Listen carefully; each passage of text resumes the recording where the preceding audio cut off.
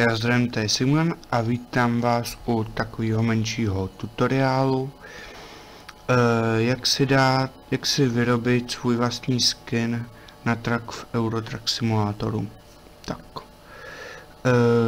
budete potřebovat, budete si stáhnete tady DXTBMP, tak si to normálně stáhnete tady, pak si stáhn, budete potřebovat stáhnout Eurotrack Simulator 2 Studio, to taky si budete muset stáhnout. A další si budete muset stáhnout šablonu, na jaký track to chcete. Všechno nám do popisku videa. A uh, jo, dobrý, dobrý. tak, to si všechno nainstalujete, tadyhle ty dvě věci a tady si vyberete na jaký tahač to chcete. E, dá, najdete si Eurotrack Simulator a najdete si uh, šablony tady. Na to si najdete, tam si vyberete, jakou šablonu chcete. Musí to být přesný, třeba jak je tady Volvo FH16, to je to, no, to, je to nejnovější zatím, to co je v té hře tak si to stáhnete. Když to třeba bude Scania, tak si stáhnete Scania, kterou chcete. Máte tady dáte ke stažení a stáhnete. Tak. Dál si to nainstalujete, rozkliknete DXTB, tak. Uh, uh, menší zádržel. Jo. Vemete tu vlastně jako tu šablonu, jak tady máte, tohleto, co jste si stáhli. To je vlastně levý bok, ze zadu pohled, pravý bok, z vrchu pohled, tohle je, je vlastně tady ten parchant. Tady máte uh, u těch nádrží takový kryt, tady to je předek a tady to je druhý kryt. Tak, to vemete, přetáhnete a dáte to sem. Teď se vám to tam prostě dá a máte to tady. Kliknete na Send to Editor. Tak, to by vás mělo hodit takhle do malování. Další krok.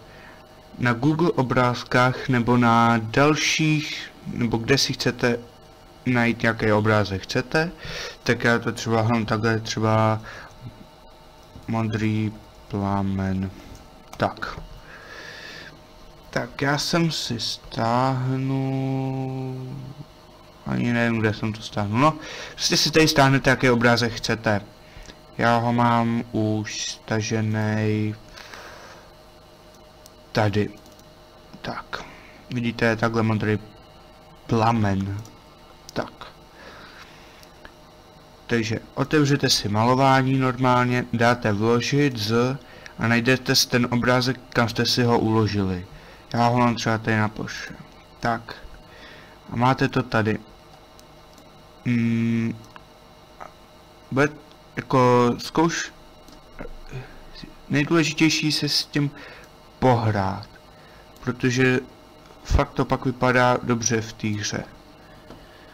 No, tady třeba takhle to prostě překryjete. Ten obráz, e, tu šablonu. Popojedete dál. Tady je zadek. Zadek toho tahače. Dáte zase a zase to takhle překryjete, aby to bylo hezký. Může se to použít jenom v... Ne, nejde to... Pšt, nejde to pustit v tom multiplayeru, ale jde to pustit v, v singlu. Tak, omlouvám se za menší vrčení, ten počítač. Tak takhle si jdete úplně dolů. Tady fakt hezký je pak, když to vidíte v té hře a teď se jen tím přemýšlíte, ty to jsem se vytvořil sám. Tak. Teď jdeme na tohle, zase vložit z...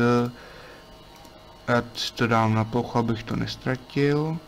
Tak, hlavně si to nesmíte překrejt. Tak tady předek a boky. tak zase vložit z, a furt je takhle do kolečka.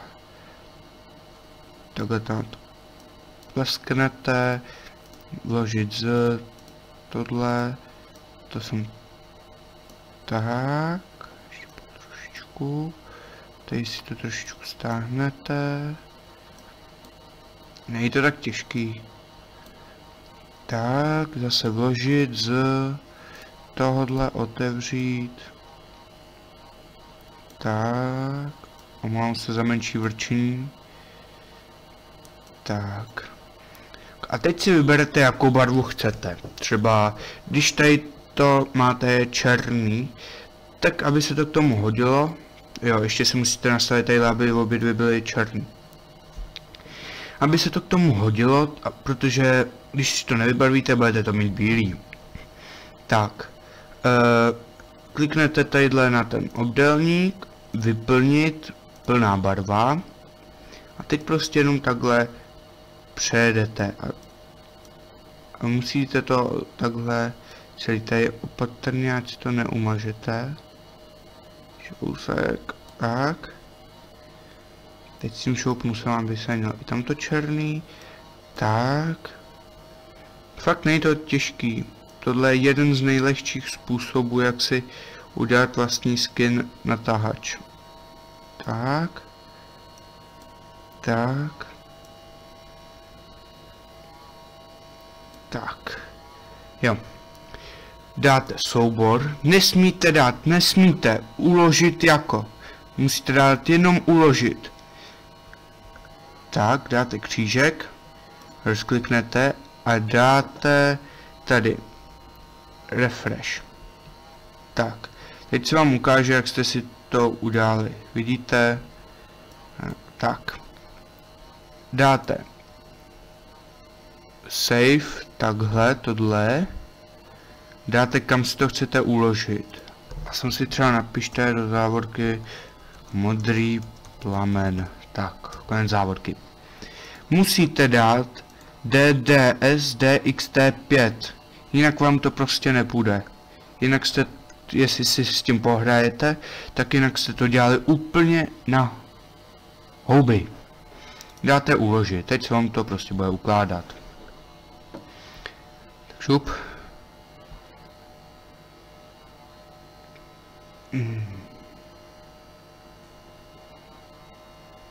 No, šup, šup, šup. Tak.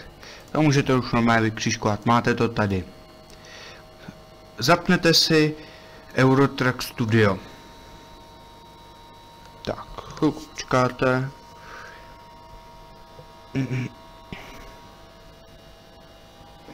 Tak.